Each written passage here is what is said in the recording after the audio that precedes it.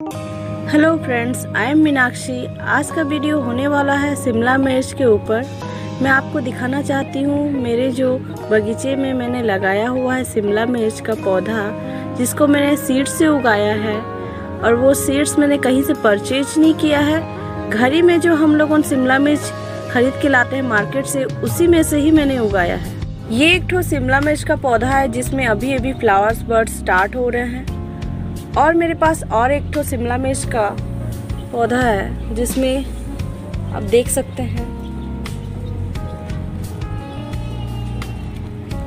Four fruits आए हैं। इसमें थोड़ा सा लिप्स का डिज़ीज़ का वजह से इसके लिप्स ऐसे हुए हैं, लेकिन इसका ट्रीटमेंट हमने कर दिया है, जिस वजह से अभी ये ठीक तरीके से ग्रो होंगे। और एक तो मेरे पास शिमला मिर्च का पौधा है। ये एक ठो पॉट है, आप देख सकते हैं। पानी का जो हम लोग कंटेनर खरीद के लाते हैं, उसी को कट करके मैंने बनाया है। उसी पे लगाया है। ये दो पौधा है। इस पे अभी बहुत सारे फ्लावर्स आ रहे हैं। इस पे अभी एक ही शिमला मिर्च उगा है, देखते हैं।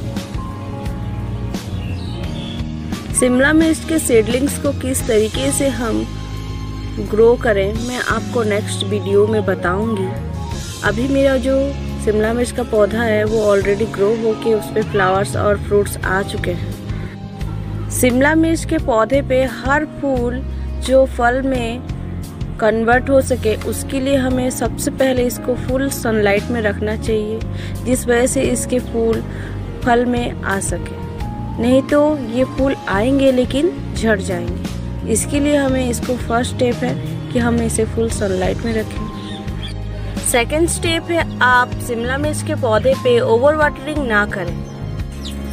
थर्ड स्टेप है, आप शिमला मिर्च के पौधे को एक ऐसी जगह पे रखिए जहाँ पे हवा का फ्लो हो सके, जिसका वजह से उसके बर्ड्स फ्लावर में कन्वर्ट हो सके और फ्लावर्स फ्रूट्स में कन्वर्ट हो सके।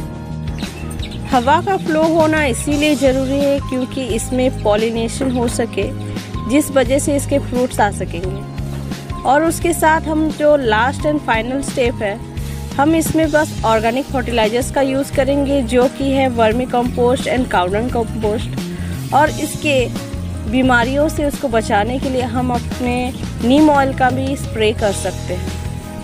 थैंक्स फ्रेंड्स आपको अगर हमारा वीडियो अच्छा लगे तो लाइक एंड शेयर कर दीजिएगा और मेरे चैनल को सब्सक्राइब कर दीजिएगा और बेल आइकन को प्रेस करना ना भूलिएगा. Thanks friends